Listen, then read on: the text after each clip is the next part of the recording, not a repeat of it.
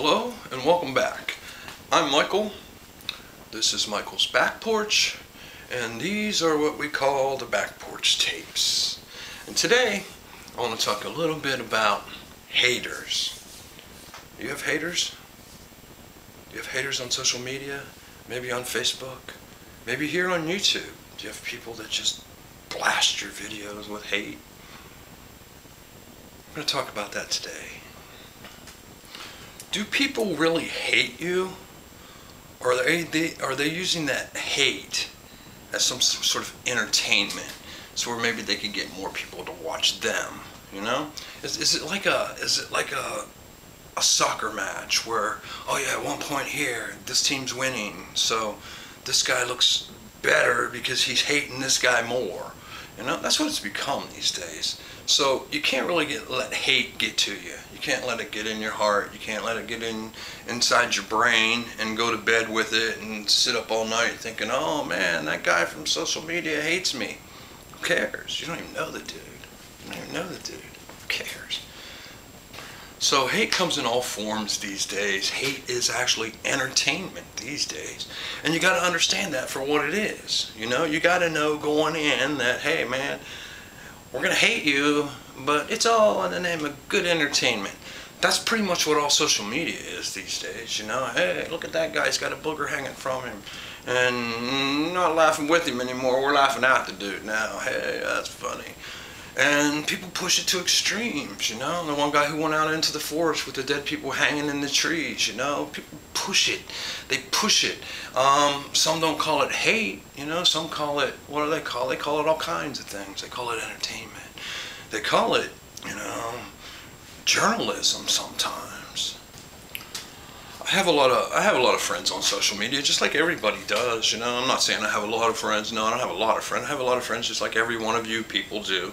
And you can see that their feed goes by every day, and you can see all the hate that goes by every day. With you know, it could be the girl you went to school with. She's like, oh, the bitches over there in another town. I'm gonna get them, and, or it, whatever. It's all childish. It just goes by every single day. So we see it so much.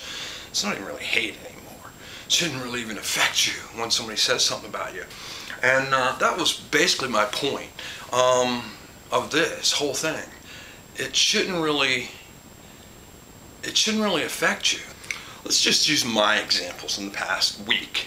Okay, I've had a couple, a couple videos that were made directed towards me, and it happens all the time. Actually, last week I had uh, a week or two, I had an essay written against me.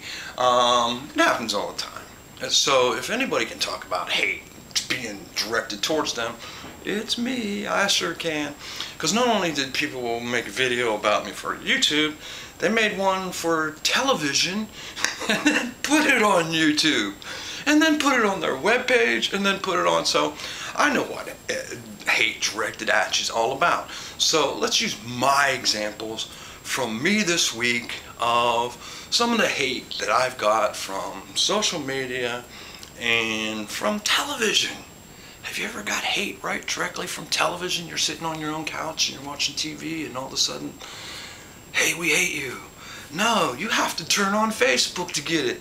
I get it just sitting there watching TV. But anyway, let's talk about that.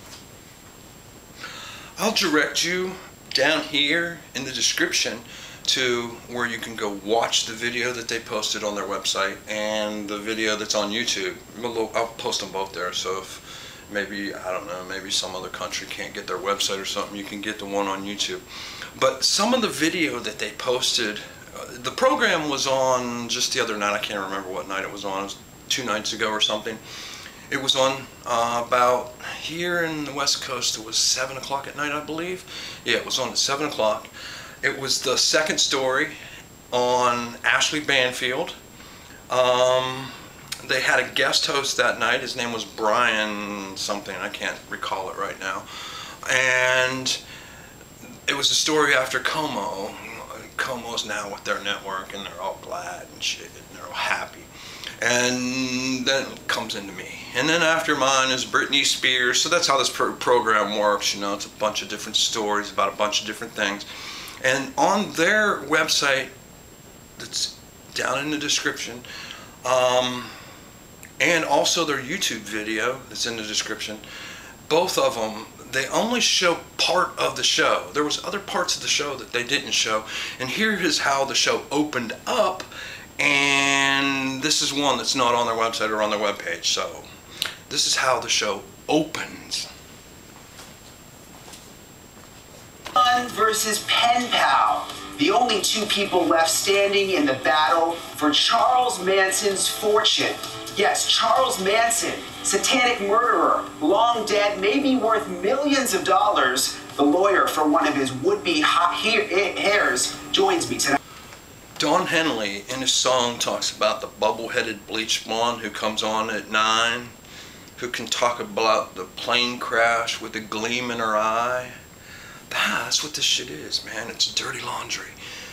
It's it, it, it doesn't come across like that in you know because first off, here's how you get on a program like that. First thing, you got to be despicable. Some of you people out there ain't despicable enough. You just got to get more despicable. First off, be despicable. And then they come looking for you. And if you are despicable, you better turn off all your social media where they can't get a hold of your own pictures because they'll steal them. And they'll steal the worst ones too and they'll put them up. So if they can't steal your pictures, they'll go to the next best thing is the people who you sold pictures to, which is all these news people who come and take the pictures. Now they own the pictures, so then they go to those people and they buy the pictures. Hey man, can we buy some despicable pictures of a despicable guy from you? And they're like, hell yeah, that's why we took these despicable pictures of this despicable guy is because we wanted to sell them to you. So they do that, and then they still use your pictures in it anyway. That's how I showed up in a lot of things. I showed up in, in, in Jason's stupid funeral film because they went and they bought some despicable pictures from a despicable guy who is now working on this despicable film with these despicable clowns. Um, and here I am in it. But that's how that works. You know, if they want you bad enough, they'll put you in it anyway. You don't have no way. All you can say is yes or no. And when you say no, they'll do it anyway. They'll just do it anyway. And you won't have your opinion won't be included. So here's how it all starts. Is court happens and the court system is so fucked up right now that they just the judge was we were waiting on a ruling from the judge for an order whether this Jason guy is the grandson or not or whatever if he believes it or what have you. It's all it's before it's just totally messed up. The whole thing's messed up. The whole everything. The whole that whole thing is to me there's nothing solved there. But anyway, we were waiting for a ruling from the judge, and the judge is like, okay, whatever, dude's the grandson, don't give a fuck, really. That's how the court operates anyway. They don't give a shit about nothing. They don't care. You got to pull teeth at the place to get anything done. And okay, he's this. But first I gotta wait for, you know, another damn birth certificate that makes no damn sense. Alright, so that's the point we're at. And the court happens and we don't show up to court. We're not there that day. Well, that day, Nancy, the other person that's in the court, the sister of Charles Manson, or stepsister, or I don't know, wicked stepsister, I don't know what the hell she is either, I don't know. Like, again, I don't know who these people are. I'm not saying who they are, who they ain't are. They can come and tell me who they are themselves. They know better who they are than I do. She was saying she was a stepsister of Manson's. Okay. She dropped out of the case when, they, you know, in the last hearing we're not there. We don't show. We're a no-show. So Jason, he's like, ah, I won. I won for Jesus. He's here. We got a stage. We're gonna do shit for kids. So all you one or two Facebook followers of mine, let's get this done. That, so then immediately the news all starts calling. Why didn't you show? Are you quitting? Are you dropping out?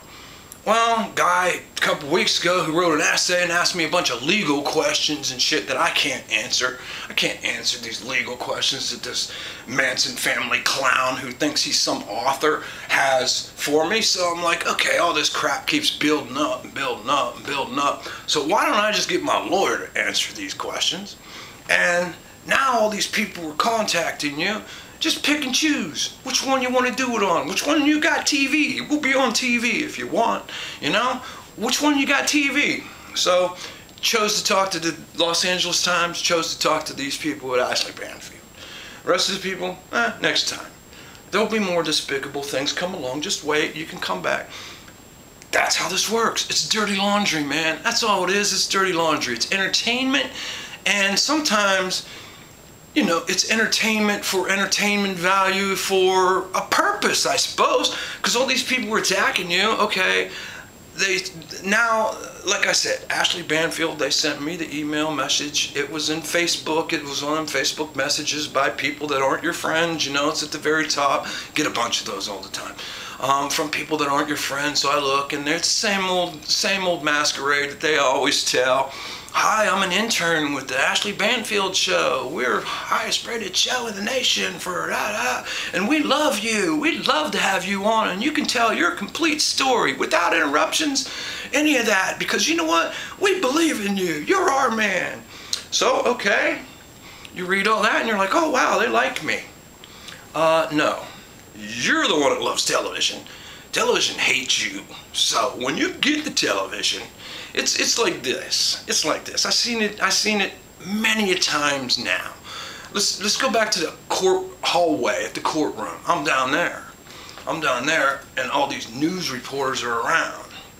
They're like, hey, how, yeah, you're from Ohio. Wow, you're a Buckeye fan. I'm a Buckeye fan too. That's great. Hey, can you go on TV with us? Sure, man, why not? We're both Buckeye fans. All right, get ready. Three, two, one.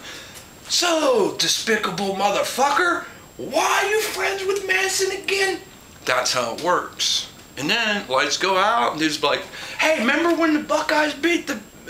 You know what? It, it, you just gotta deal deal with that sort of thing. And that's kind of what life's like too. You know, if somebody says something in the Facebook feed one day, they might have been pissed at you that day, they'll get over it. And it's nothing personal to you, so I don't really take none of the stuff personal that they say on TV either. Even when they go into, you know, talking about maybe blood money.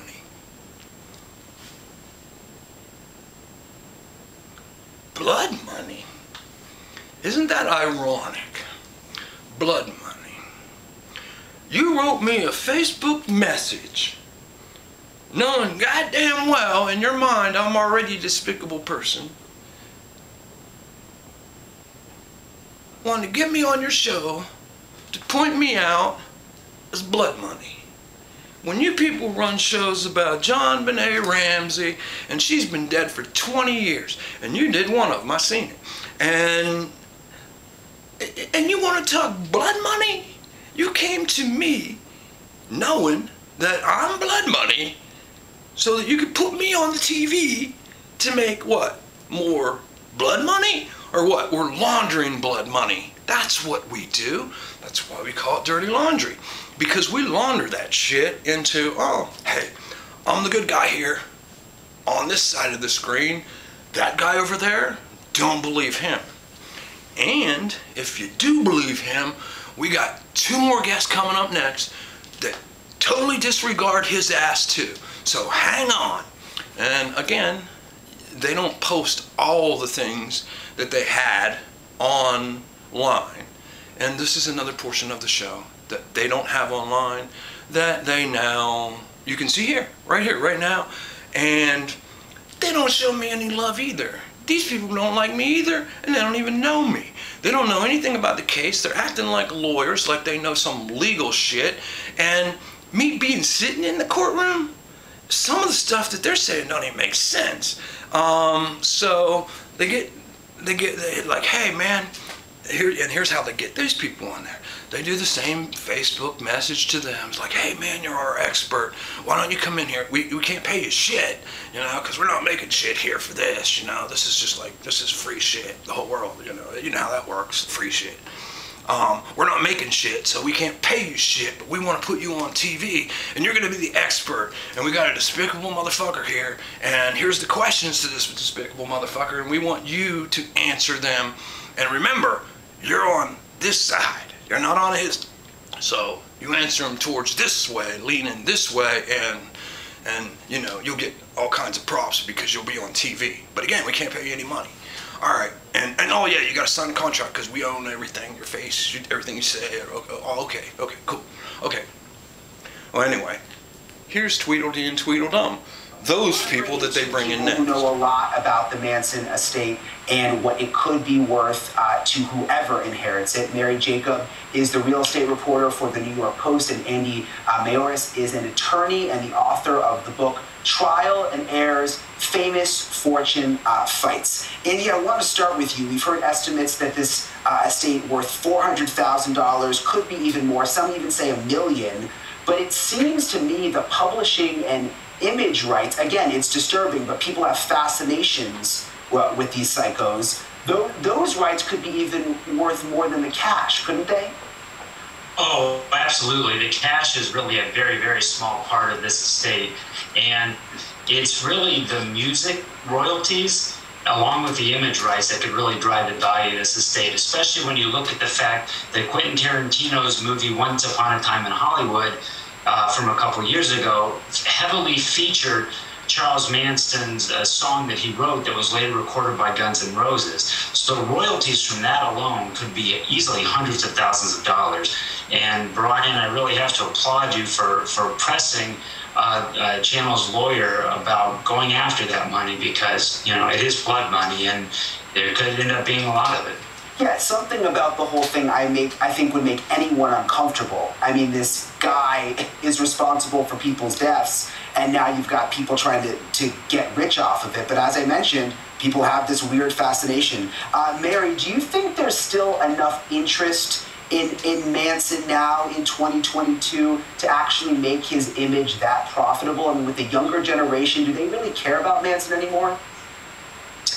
Um, well, I mean, if there's one thing history has shown us, uh, Americans and their fascination with the kind of the grisly. So you have the popular murder documentaries, you have the murder trials, uh, films, uh, the, the Manson-based film Once Upon a Time in Hollywood, as you mentioned.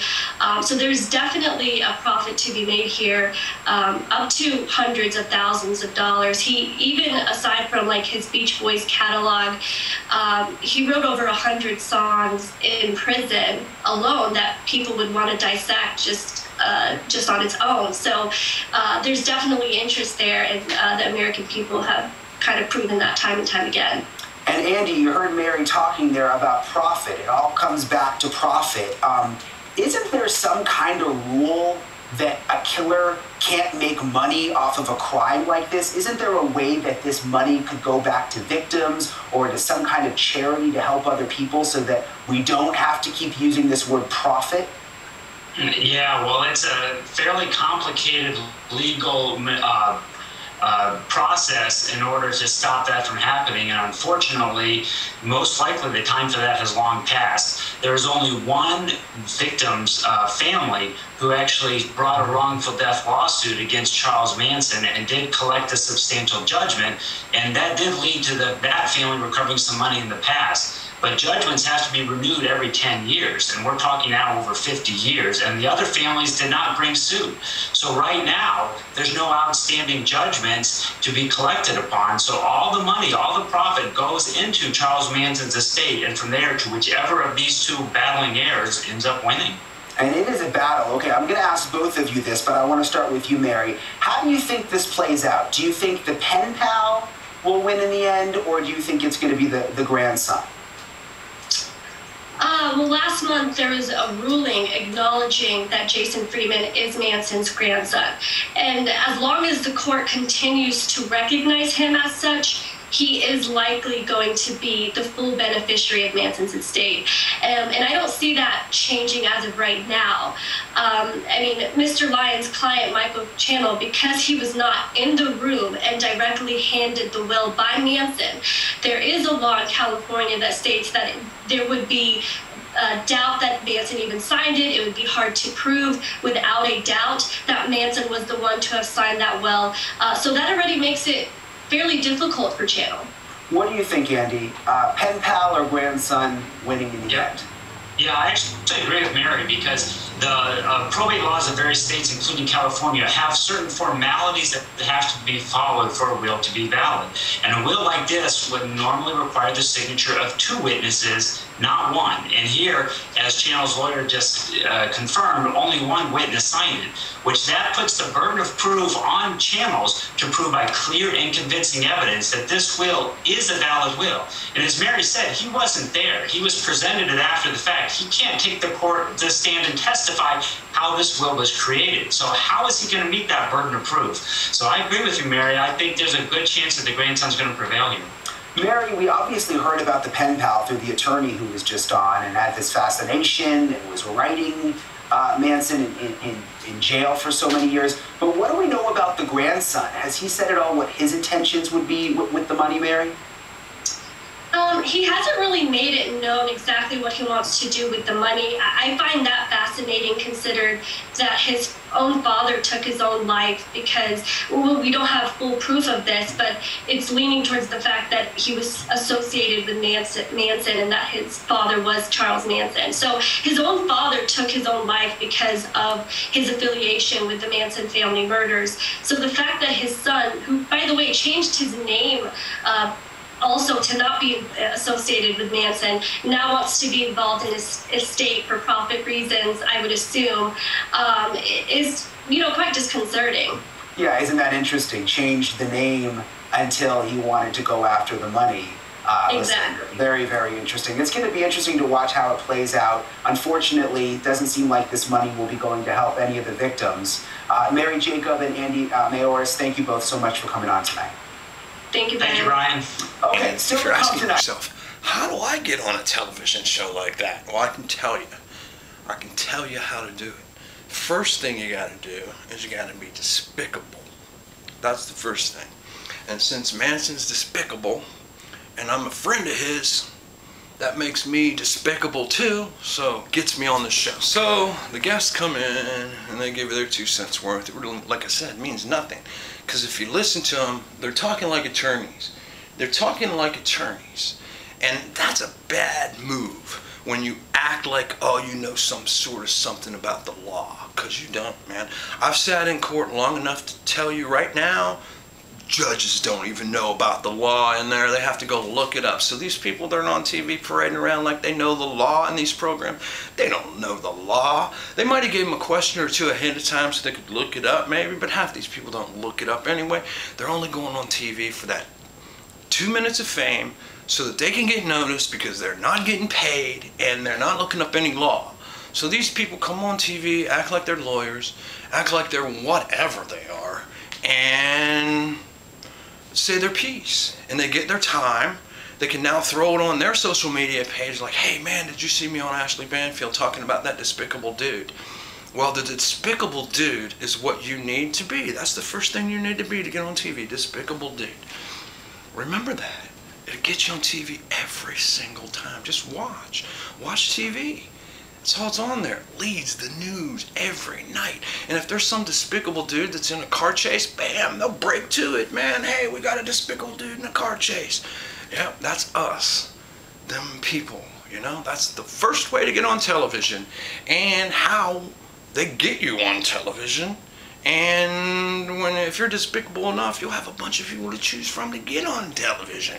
So for the guy that had the essay that wanted to know all the lawyer questions, go down into the description and you can find all those questions right down there, my man. And now, had another video. Not just television and them then taking it from television. 15 minutes. It took them 15 minutes after that program was over with to have it on YouTube. 15 minutes. It was on YouTube. So they were quick about that too. And then from that time, it took them like another, you know, few hours to have it on their webpage with a whole write-up about it, with a whole video on, you know, and still it doesn't have the whole video. So you're getting to see the how the show started here and basically how the show ended here. And then they show the middle with, you know, my attorney, which you've got to see down in the comments, because I'm not going to play that here. They're, they're playing it enough on YouTube themselves. And now to a YouTube video that goes into a lot of hate about me that I just cannot even understand. And we'll talk about that next. Right now, I gotta go take a leak. So hang on, Jason. I'll be right back. When people will have an opinion of me, I don't really care. Again, I don't really care. I don't care.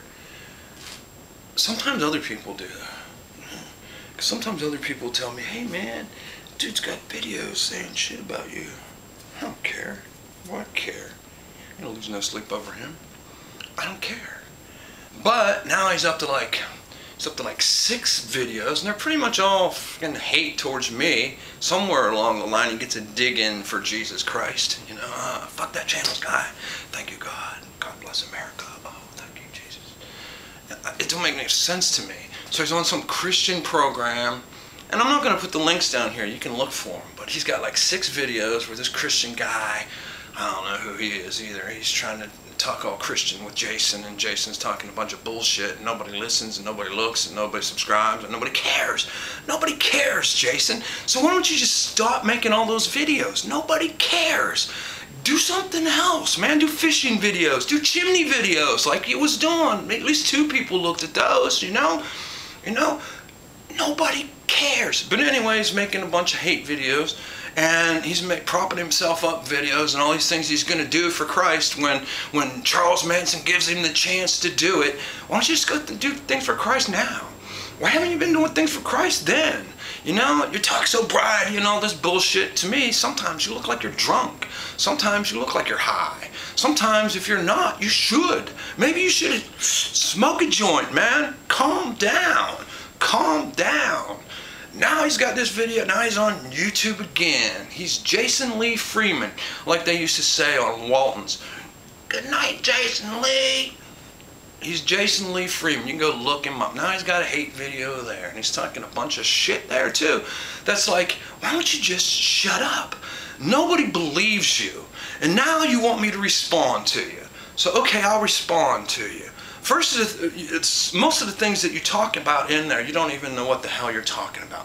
One of the, you got a bunch of people that are, oh, okay, they'll talk, they'll, they're against me, and you got inmates and people that are on the outside. I probably know all the damn people on the outside. I seen that you have George Stimson on the paperwork, so if he shows up, good, good. Let him show up. I got a lot more tapes of Manson talking shit about that guy. Let him show up.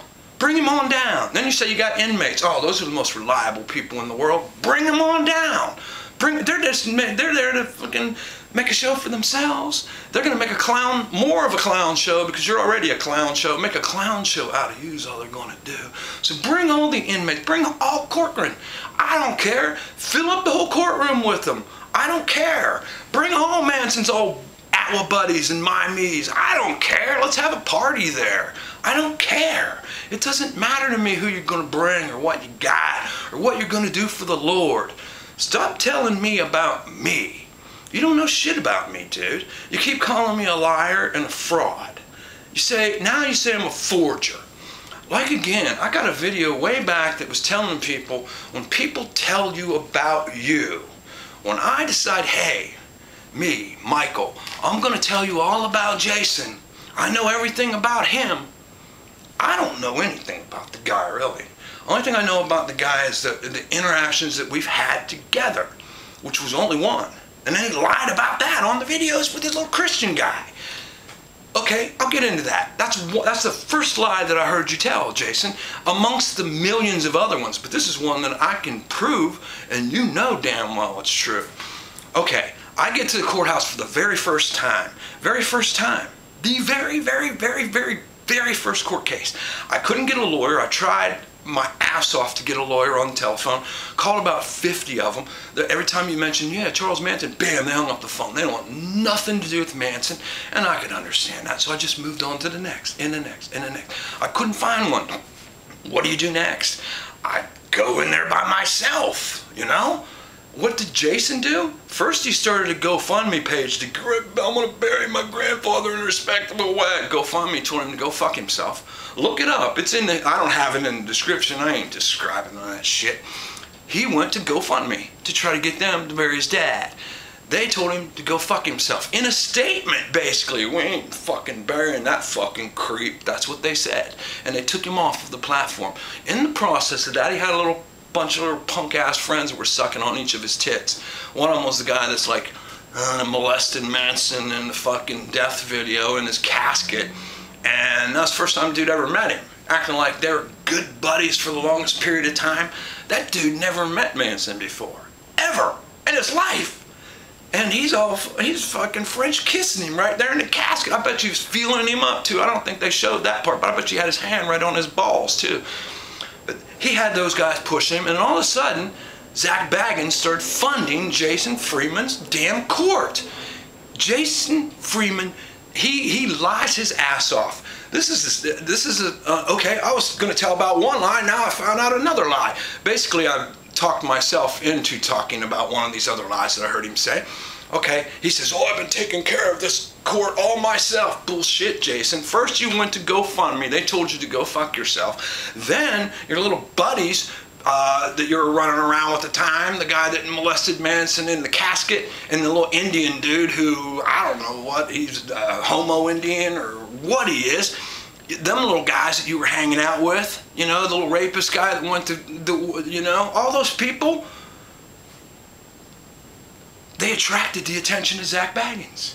Zak Bagans is like, yeah, we got the grandson, we got Manson, he'll give us everything, we know he will. Zak Bagans is way smarter than you. He suckered you out of everything. He took, you're talking about all the, how creepy I am. You took Charles Manson's body and divvied it up in pieces, put it inside of a funeral program, taped it to it, his dead body, ashes, signed your damn name, and then Freebird and all that shit to it, and sold it to people. Zak Bagans made that possible for you because he's paying for these lawyers of yours. That's why these lawyers of yours don't really like you as a person. You know that the first time that Jason shows up, okay. We're I was back. Let me get back to talking about the first time I showed up to court. Okay, I don't have any lawyers. Jason's got two lawyers now from Zak Bagans. You know, he's all, oh, I'm Jason Freeman, the fucking grandson, sitting there in the middle of all these reporters and shit. I'm walking down the hall. I don't have any fucking attorneys. You know, um, and I'm going to meet the ones that I finally got. I'm trying to get them on the phone. The phone don't work in the court building at all, and it, the messages ain't going through. I'm just getting more nervous and more nervous. And the one message that does come through from the attorney that I've never met before, that I've just got, I'm trying to meet in this courthouse, is telling me to meet him on the fifth floor. I'm on the third floor in the courthouse, and the stairs come to an end. There's no more fifth floor. So I oh look on the sign, you gotta walk all the way down the hallway and there's like three more floors up the other side. That's the craziest thing, but that's how the courthouse works down there. So now as I'm rushing to meet them because I'm, I'm the phone wasn't working, I don't know where I'm at, the floors aren't adding up. He's outside smoking on the balcony on the fifth floor, and there ain't no fifth floor. And, and finally it comes through, okay, uh, now I gotta walk down the hall. So I'm walking down the hall and I'm looking at my phone, and all of a sudden it's Michael Channels. Freeman jumps up from the side, comes rushing over towards me. I don't know what the fuck he's gonna do to me. He's some ultimate wrestler guy. Fucking kill my ass. He ain't doing that to me. So I jump back. He's like, sticks his hand out like he wants to shake my hand. I'm like, no, I ain't shaking your hand, man. You're just making a show in front of all these reporters is all you're doing. That's all you're doing. And I'm still looking at my phone because I need to find these attorneys, man. I need to talk to them before this hearing, before it's the first time I ever met them. And uh, so I get out of his way and walk around him. And I'm looking at my phone, and, he, and then he screams at me from behind, and he says, all I wanted to do was say hi. And I went like this, still looking at my phone, still walking along. And then later on his little Christian show, he, he turns the, the wave into, I turned around and said, fuck you, Jason Freeman. Do you think I would do that in the courtroom? In the hallway of a court where I'm going for it? No, the dude's lying there too. So that's a lie he told. When he tells that he's taking care of this his whole time all by himself, he's lying there too.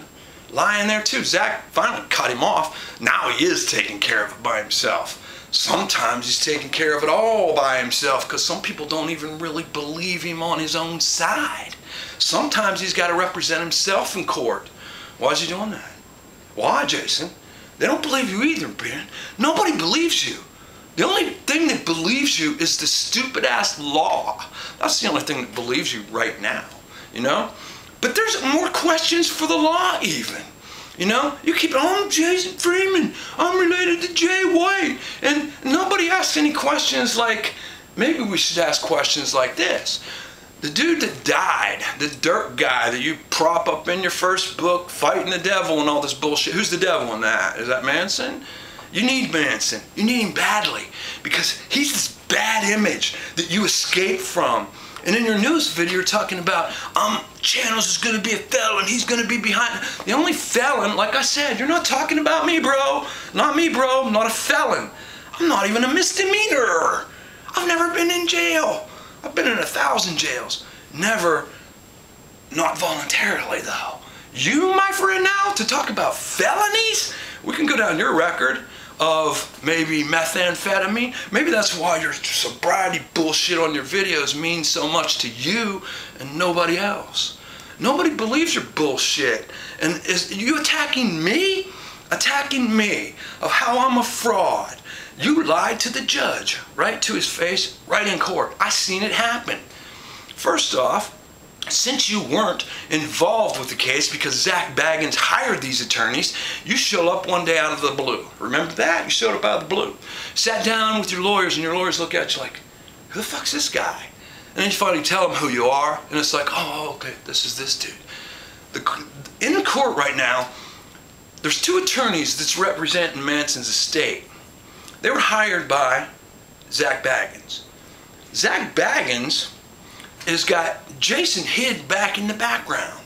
Basically, one attorney's representing Manson's estate, another attorney's representing Manson, and Jason's like back here is nobody. So these people are really going to own this big part of this shit when it's over with. And I bet you Zak's even still going to part even if Jason wins. Um, but these people here are representing him, and sometimes Jason will want to do things in court that they just don't jive with, or they don't even know about, or they've never talked. I can tell they don't even talk to each other. It's like, I got a bunch of questions, uh, but they've made this thing confusing from the very beginning because of Zak Bagans and how he arranged all this stuff from the very start. And then we get up to the point uh, you know, when the first thing happens in the newspaper that day, Jason's like, well, I'm looking like this.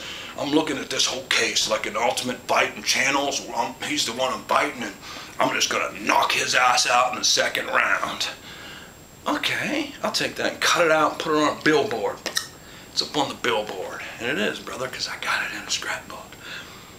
So you're going to knock me out in the second round. So now you make a video of how this is drug out so long and I'm gonna be a felon. Wait, you're the felon, you're the meth head, not me. You're the one that picked on people and bullied people and they put you in jail for that too once, remember? Not me. I don't do that. I'm not a bully online. I'm here defending myself from what you said. You call me a fraud. You're a fraud, dude. What about the dude? Back to the Dirk dude in your book. The dad, my dad, my dad, my dad Dirk, my dad Dirk. That dude ever adopt you? Are you adopted? I think you are. First off, I think you're adopted. But secondly, I don't think you're Jay's son whatsoever. I think that was a ploy by your mother. Your mother did that. J- Jay White was known as Jay White until your mom had to look his ass up and turn him into Charles Manson Jr. for her own props, her own ego, just like you're doing today, like mother, like son. She pro- this is this is my opinion. She propped this dude up. Oh, this is Charles Manson Jr. He had my kid when he never had your mother's damn kid. You're not no part of that. She outs this guy. What's he do a few years later? Blows his head off. Before that, he was Jay White. How did he get to be Jay White? You know, because Rosalie took off and took Charlie's kid, and she took off. She's like, fuck Charlie Manson, he ain't never getting my kid Jay back. It wasn't Jay at the time, he was little Charlie. That birth certificate that you turned in the other day, that's who he was then. But when he got back to wherever he went with, And Rosalie got married to a guy by the name of White, Jack White. And then Jay, it's always been rumored in books, Jay changed his name to avoid Charles Manson. How the hell did Jay do that at three years old? Was Jay adopted too, maybe, by Charles, this white guy who now changed his name to Jay White because his name's Jack White and she's now Rosalie White? That has nothing to do with Charles Manson anymore now because that was how Michael Brunner got excluded. And if anybody's a damn relative to Charles Manson in this whole thing, Jason, you can't gloat because that guy is and you ain't. And people who hate you on the internet should just keep their damn mouths shut. So when it comes to you talking about fraud, yeah, I wonder a lot about a lot of frauds. Why didn't you take a DNA test? You blame me for dragging this out for so long. No, I can blame you for dragging this out for so long. Because if you wouldn't have denied uh, every step in the process of them not believing you in the first place, everybody believed you at first. You were the grandson.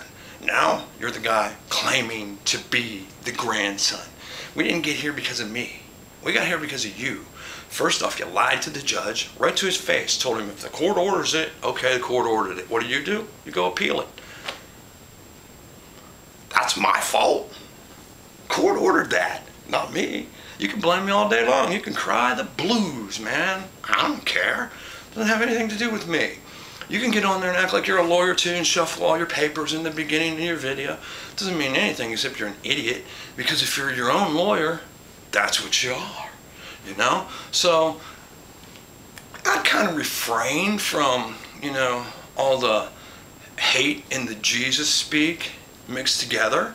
It doesn't really make you look genuine, doesn't make you look authentic, doesn't prove a point anymore, doesn't do anything except you make you look more like a fool. I ain't gonna believe you. I don't care what you say. I don't care what anybody says to tell you the truth. I don't care if Jesus pops through the sky and says, Jason has got a stage. He is the grandson. Give a fuck. Fuck Jesus. I don't care. I don't care. Doesn't matter to me what you say, what anybody says. So, if the video was to prove a point, all it did was ask more questions of me. Why didn't you take the DNA test? Why'd you lie to the judge? Why'd you lie to the preacher guy on the video about me in the hallway? you know, about stupid little shit about me in the hallway to emphasize the point on how much that you should hate me because I turned around and said, fuck you, Jason Freeman. That's not something I would do, bro. I don't do that to anybody. I act more godly than you ever have. That's why I've been Manson's friend. Who else could be Manson's friend? Who else wants to go through the abuse like this shit all the time? You do now because you think you're going to carry bags full of money. No, this is a bag full of curses, bro. A bag full of curses. And you better know how to deal with them all. Because you done opened up the bag. I don't care you win or lose. You still got it. You still got it's still attached to you. Ain't going away. Just think. It's always there, bro. Always. Always. Because now it's attached to you. Do you know how to deal with it? Because you don't sound like you do. I do, man. I don't care. I'll clown on these people all day. I don't care. I don't care. Because I'm genuine. Dude was my friend. I'm standing up for him.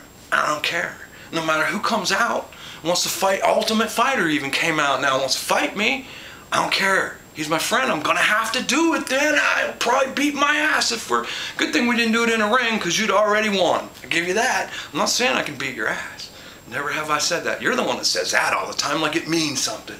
Like, oh, kick his ass, or oh, some boxing reference or some fighting reference or some machismo reference. Like, that makes you some tough guy like, oh, I'd whip his ass. Fuck yeah, you would, but you wouldn't because you always talk about things that your uncle, your grandfather told you. You don't know shit about. you make it up, man. You make it that shit that you've been putting in. My grandfather told me, uh, give him the fucking slippy sucker punch. What the fuck are you telling? You lie. You're getting your lying. He didn't tell you shit, man. He didn't tell you shit.